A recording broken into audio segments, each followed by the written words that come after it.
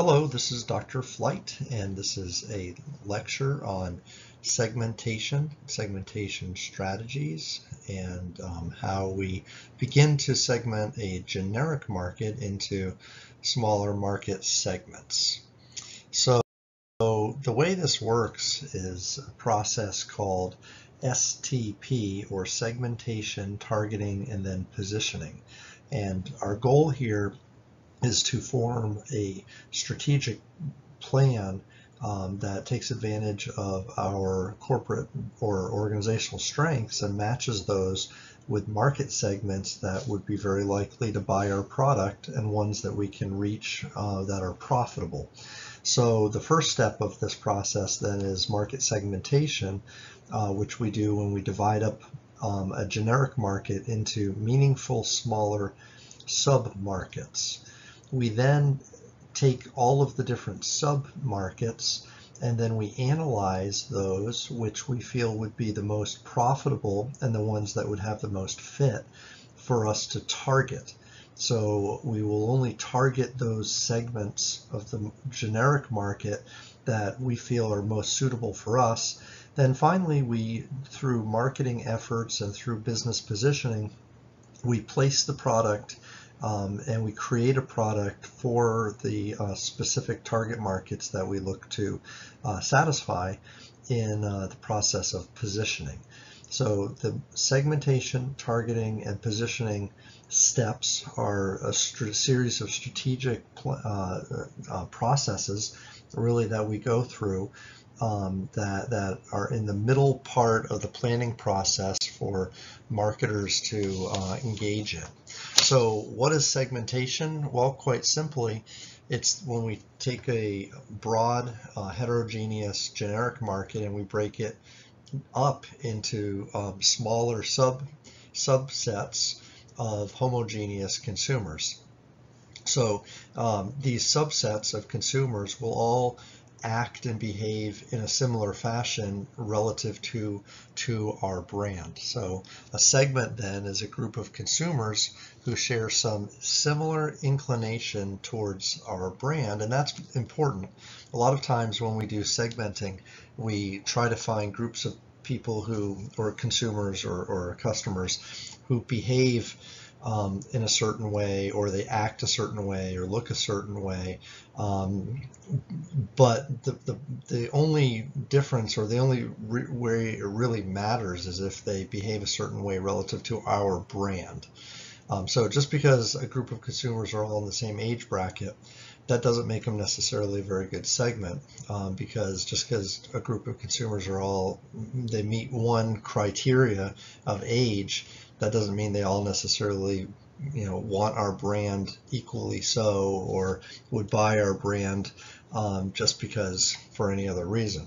So uh, it's important then to consider um, the, the development of the segments and then the analysis of the segments to make sure that they um, fit our needs and what we want to accomplish in fact, um, when we do the segmentation process and we come away with a, a group of different uh, consumers that are, we say, are heterogeneous, um, there are several aspects of the segments that we want to consider um, to say that the segmentation process was successful. So um, there are six items here. Um, we want to be able to have identifiable segments, segments that we can take action with, ones that will lead to favorable um, profitability, ones that fit our corporate uh, goals or our business goals, uh, segments that we feel will stay um, in, in place over a period of time, and then and then verifying that our segments are different from each other um, there so that the response differences are, are really there. And so for each one of these, when we talk about identifiable, we want to make sure that we're able to, again, use segmentation criteria um, that we can, we can measure and that, that can then lead us to and help us locate uh, the consumers who would make up the segment. We want to be able to find consumers and make sure that we can identify them as being part of the segment that we're trying to go after. That's the identifiability concept. Um, actionability includes this idea that um, when we choose a market segment, we want a group of consumers that we can reach, um, that we can um, have contact with, that we can get our product to, um, and so forth. Um, so if we can't reach them from a marketing perspective, um, then it's very difficult to make an exchange happen and so forth. So it wouldn't really uh, lend itself to a very good market segment outcome if that were the case. Um, moving forward, a favorable cost benefit um, ratio for us or a profitable segment um, is certainly something that we want to think about as we move from this. So when we look at market segments, we sometimes look at how, how, how large they are size-wise, um, whether the segments would be likely to do business with us, um, the, the characteristics of the segment that would make them um, worth pursuing from a profitability standpoint. Um, the fit factor oftentimes is uh, more of a cultural fit um, and a, a, a, fit in a sense that our products lend themselves to the markets that we could serve and we could see themselves identifying, we could identify with our customers and we could see our customers identifying with us. Um, so that's a good fit. We may also, so there's an alignment between our strengths and then what the market needs, and perhaps even a fit from a competitive standpoint too, um, when we start to think about how crowded the market segment is and how they're currently being served and so forth. Um, so um, other other requirements then as we move forward stability over time. Um, so again, we want to make sure that as we enter a uh, market segment, that it'll be a market segment that we'll be able to do business with for a longer period of time. And then finally, this last category, of, which says that if I segment the market into, into multiple um, sub sub markets or subcategories of consumers, each category should be distinctly different. Um, so if I have um, two or three or four market segments, each market segment should be uniquely identifiable through the behavior, their behavior with our brand. Um, and if they're not, then we can combine them together and we could take two segments and put them together into one large segment if the members of the two segments don't behave significantly different from each other, um, you know, relative to whether they would buy our product or like our product and, and so forth. So, um, so there's this idea of uh, distinctly different segments, market segments, and if they're not distinctly different, then we didn't do our segmentation process uh, properly. And so when we talk about the segmentation process and what we do, generally speaking, um, we do market research to identify different um, different characteristics that consumers have and um, and then we, we track to see which consumers are most likely to buy our products. Um, or we look at the consumers who are currently buying our products and we look to see what makes them special and unique and we form a, a market segment around those who are, are our customers. So we look for identifying variables then. Um, so these are criteria or variables that we use to describe our markets and our market segments. Um, some folks will call these segmentation bases um, or factors that we use. Um, and oftentimes we have things such as um, demographics, geographic, and behavioral type characteristics. Um, these tend to be very uh, fairly easy to measure. Um, so we can count, for instance, how many times people buy the product, um, you know, in the first first of the month um, whether they drive through the drive-through or they walk into the store to buy the product. We can measure very easily where they live and their geographic location and stuff like that. And really through surveying, we get um, a very Uh, it's very easy to measure things like age and income and educational levels and, and race and, and gender and things of a demographic nature. Much harder elements to measure are psychographic or psycho psychological factors, such as people's attitudes and behaviors and beliefs and um, their their outlook on life and and things like that, feelings, emotions. Those are all very difficult to measure because they're not directly observable. And from a research perspective, they're they're just harder to measure in general. Um, and so um, so that's another category of variables um, and psychological or psychometric variables tend to be very powerful, in fact, uh, because they talk about people's lifestyles. So what we'll often do is use a combination of demographic, geographic, behavioral, and psychological um, characteristics to group our consumers. Um, we'll also use um, a needs-based analysis as well um, at various times. So um, as we move forward, we can look at the variety of different uh, characteristics, criteria, segmentation bases that we'll use um, to, um, to identify our consumers and group them um, in, in, into similar subcategories. Um, as you are, are no doubt uh, familiar, we have demographic influences, um, and again, those are things that are typically very easy to measure, like occupation and education, income, marital status, um, ethnicity, things of that nature. We have lifestyle influences, which may be a little bit more difficult, and we can expand on those more in psychographic measures. And we have usage and behaviors, um, such as like when somebody buys, how often they buy, quantity in which they buy, whether they buy with other people or not, um, with their friends or, or whatnot, whether they purchase late at night or early in the morning.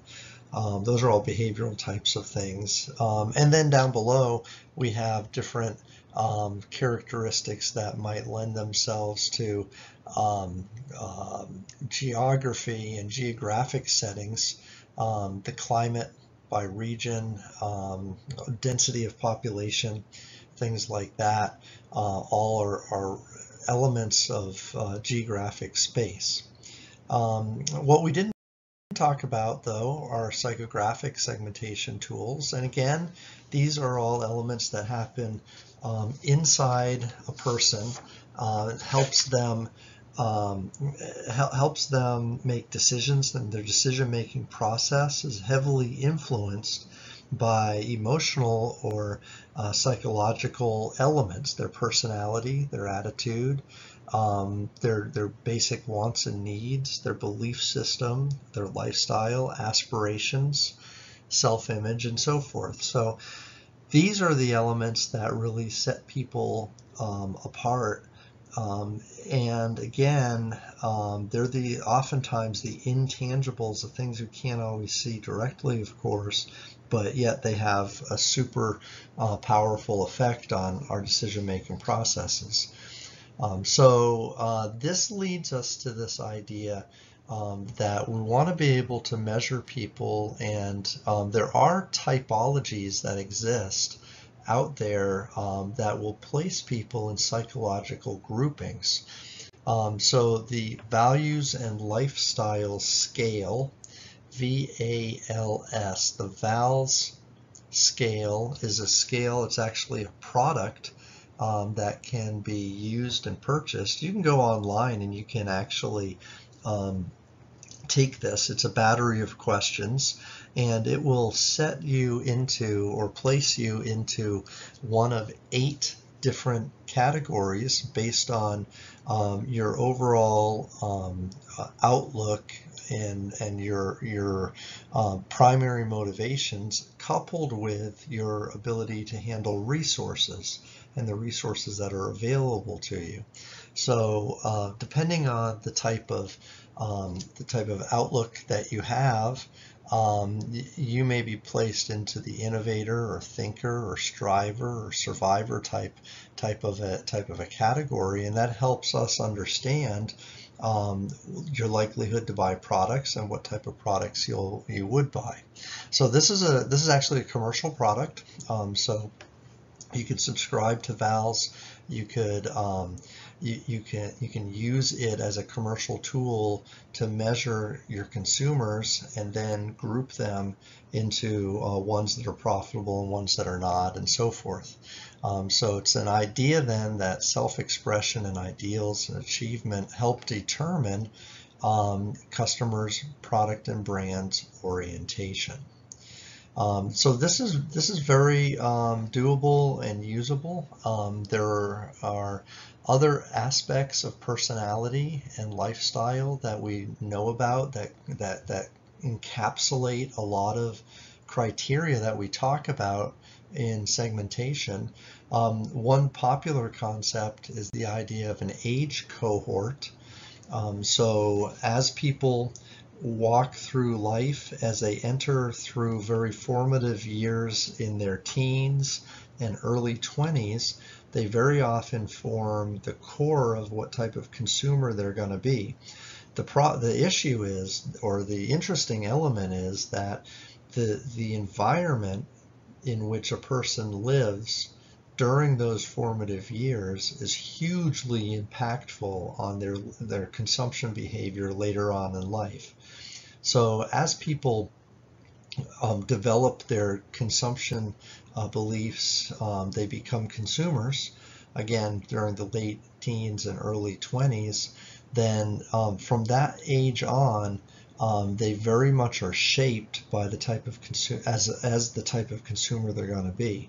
Um, a lot of people talk about the millennials or the Gen Ys or Gen X's or the baby boomers.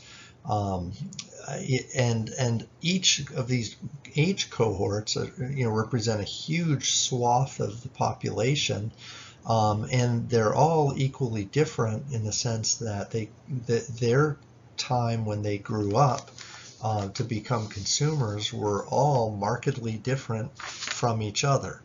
Um, so um, and you know we're, we're, we're, we talk a lot about millennials right now because the millennials will someday um, be middle-aged and then they'll be seasoned citizens and um, they'll they'll reach a period when um, they have a lot of buying power um, a lot of purchasing power a lot of discretionary income. While right now they do not um, they will at some point. They'll be the shakers and movers um, financially um, who who help uh, direct how consumption is done in another 30 years or so. Um, so um, there, there, you know, each successive age cohort is important uh, because it helps predict and describe the way consumption will happen years from now. Um, this really talks a little bit about taking a large group of consumers and looking at their profile in a composite sense.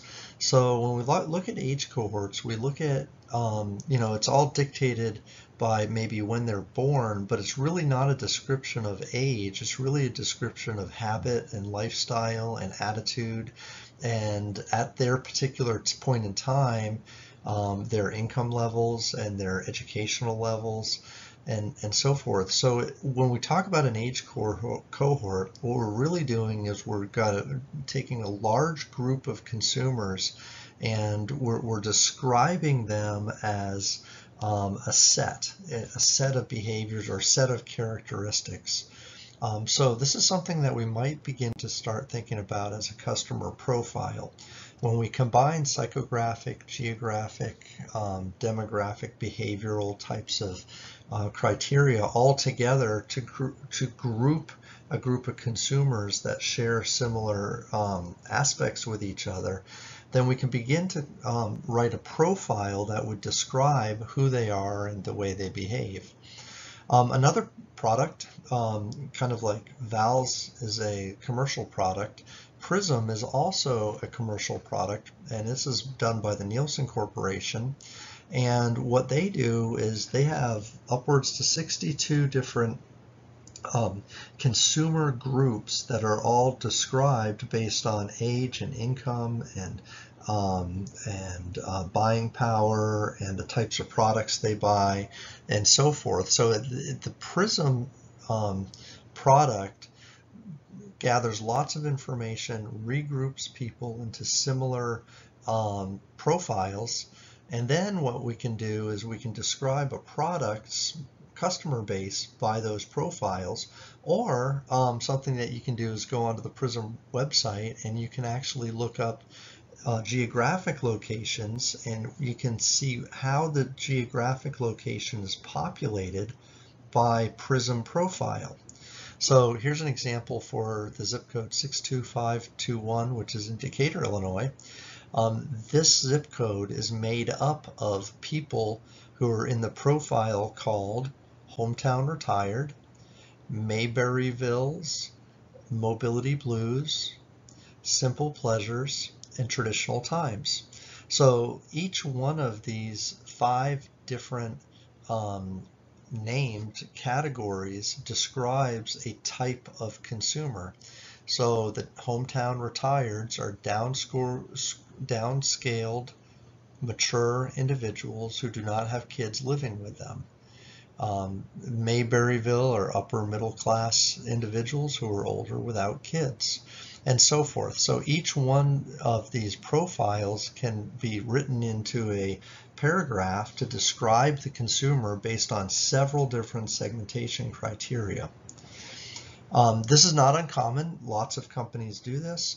Here's an example of a gas station who has regrouped or identified their consumers into five different market segments each market segment is uh, described here in a profile sense. So we have the Road Warriors, True Blues, Generation F3s, Homebodies, and the Price Shoppers. And for this particular gas station, their largest market segment is the Generation F3. These are upwardly mobile men and women, half under the age of 25, constantly on the go. So this skews younger um, people who are in a hurry, they drive a lot, snack heavily from their convenience store. So if I'm going to um, create a product or a service, or I'm going to focus on this particular market segment, I know that they're going to be in a hurry, so they have to have a fast uh, transaction time. Um, they're younger, um, so uh, things are going to have to be, um, you know, more up to date or or technologically um, up to date, so that it would appeal to a younger audience. Um, it needs to be, I would imagine, for all of these, but for this group, uh, a clean, a well lit environment, and so forth.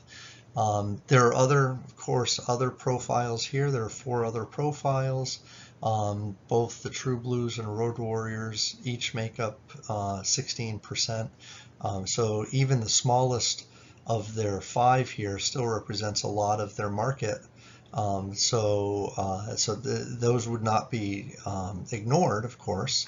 Um, but each of these five different customers we would want to treat uh, in a special way according to what their needs and interests are. Here's a here's another example for Best Buy. Best Buy has a series of different customers. There's Jill's, Barry's, Buzz's, Ray's, Mr. Storefronts, Carrie's, Helen's, and Charlie's. Um, the, the Barry's are wealthy professionals. The Mr. Storefronts are small business owners um, who are coming in. Um, Carrie's are young single females and so forth. So each of these um, characters would have a profile that would focus on um, their, uh, their, their lifestyle, their age, maybe their demographics, um, their psychological profiles, their behavioral patterns, and all of those things, again, like before, come together to create a form of um, a form of a profile that can then be used to um, to to sell to sell uniquely to each one of those one of those consumers. So now what we want to do is um, think a little bit here um, as we go through the profile concept of how um, when we have a profile, um, it's not um, it's not the, the process doesn't end just simply by regrouping consumers into different groups. Um, what we need to do at that point is take each market segment and then analyze each market segment based on how they perform and how they behave. So in this particular example, this is for health insurance. Um, and there's a series of questions here that range from um, that, that where the scale here range from um, they have the service um, and they will not drop it. So they have the service and they will not drop it. Um, all the way down to I do not have the service and I do not want to add it. So up here is very positive down here is very negative on the scale. And then we have these different questions that would be asked for each of the three market segments um, that are available. So we have market segment one, market segment two, and then we have market segment three. And we have uh, five or six questions that we would ask or pr about products and whether they own these products or have these products or not. So the insurance minimizers, so that was the name that was given to this group, this cluster of consumers. They are all generally planning to drop or cut costs. Um, their goal here is to minimize their insurance expense. They do not want to be overinsured for sure. They're going to price shop. They're going to probably not be very loyal customers. Um, that's and and this is all driven by the data that we're that we're, we're getting, and it describes this group of consumers. The basic buyers are the ones who want the key products, but they do not want the extra products. So they're willing to take the products that are most important, generally speaking, so life insurance, accidental death, and uh, prescription drugs. Once we start getting into the long-term disability, second opinion of surgery, and separate coverage for accidents, those are less necessary insurance in their mind. They don't feel like they need them as much, so they're not going to get them. So those are the basic buyers. And then finally, we have a group of consumers that's willing to spend um, again on the necessities, but then on some of these other products that are less needed, they're willing to buy those as well and hold on to them. Um, so these would be premium buyers. They may be your platinum customers, um, and they're willing to um, really become overinsured, possibly even. And so now we have sort of a description of each of the three segments, and now we have some data to back up how they each one behaves. And we can begin to decide which market segments we want to aggressively pursue and what type of marketing plan we want to lay out for each one of these three market segments. So we have the minimizers and all three here. It appears as though they share very similar market size all in the 30% range. Um, we have revenue. Of course, we're going to get a lot more revenue from the premium buyers and the least from the minimizers. Going to have a lot more problems. So these guys are going to cost us a lot more than minimizers, and the buyers will cost us less. Um, but here's the thing, we need the minimizers because they make up a lot of volume relative to our business. So even though they're not the most profitable um, by volume, we need their cash flow coming in to be able to support what we're doing. So again, we have three different market segments. Um, and some are better than others from a profitability standpoint um, or a, a margin standpoint anyways. And each of these different market segments requires different needs from us. Um, they need to be treated differently. And so now we have these groups segmented. Um, we can begin to address that situation. All right, so now the final thing we'll do is just mention a quick word, and um, we, you know, don't spend enough time talking about business-to-business -business environments, but we know that most business, um, from a dollar perspective, is performed in a B2B market. Um, however, um, we just don't spend a lot of time doing it. The process is more or less the same, though, where we look for markets, segments that are stable over time, that would be profitable for us, that we can reach, um, that, that we can identify with and so forth. Um, however, the segmentation criteria probably just changes a little bit. So we do have firm demographics. So that would include like the size of the firm, sales volume, how many locations they have, and so forth. We also have psychographic characteristics which deal with the culture of the firm and sort of the, the pulse and the DNA of the firm and how they behave and act and so forth, um, how they um, how they react if they're very uh, risk averse or risk loving, um, whether they're heavy on tech and innovative and so forth. And then, of course, we also have their usage behaviors, how they use our product, if they're using our product or service. Um, there may also be um, issues that deal with um, their their procurement process um, and so forth, like if they have a formal uh, purchasing uh, process or if not, and uh, whether they are large enough to have uh, representatives and um, a request for purchase and, and, so on and so forth. So, so there are certainly criteria and segmentation bases that we can use to identify our business customers just as we would our individual um, B2C types of customers too. And the processes are generally the same uh, where we look for different market segments um, and we identify those. And then in the next step, we'll target ones that are profitable and position our products towards them. So this is going to wrap up then this discussion on market segmentation. We walked through the general uh, process um, and things we want to look for for market segments. We also spent um, a good amount of time talking about customer profiles.